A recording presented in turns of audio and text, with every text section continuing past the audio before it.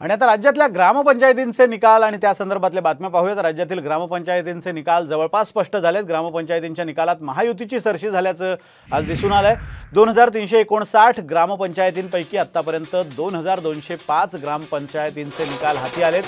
त्यात महायुतीनं एक हाती बाजी मारली आहे. महायुतीला एक हजार तीनशे चोपन्न जागा मिळाल्या. जवळपास साठ टक्क्यांपेक्षा अधिक जागा महायुतीला मिळाल्या तर महाविकास आघाडीला पाचशे तीन जागांवर एकूण समाधान मानावं लागलं राज्यात ग्रामपंचायतीत भाजप हा नंबर एकचा पक्ष ठरला आहे तर भाजपनं आत्तापर्यंत सातशे सोळा ग्रामपंचायती जिंकल्यात. तर दुसऱ्या नंबरचा पक्ष हा अजित पवार गट हा ठरलेला आहे. अजित पवार गटानं आत्तापर्यंत चारशे सहा जागा जिंकलेल्या आहेत. तर शिंदेची शिवसेना ही तिसऱ्या क्रमांकावर असून शिंदेच्या शिवसेनेनं दोनशे सत्तेचाळीस जागी विजय मिळवल्या. महाविकास आघाडीत काँग्रेसनं सर्वाधिक दोनशे पाच जागा जिंकल्यात तर शरद पवार गटानं ग्रामपंचायतीच्या एकशे पंच्याऐंशी जागा जिंकल्यात आणि ठाकरे गटाला केवळ एकशे तेरा जागांवर समाधान मानावं लागलंय. आतापर्यंत कोणत्या पक्षाला किती जागा मिळाल्यात आपण पाहूयात ग्राफिक्सच्या माध्यमातून.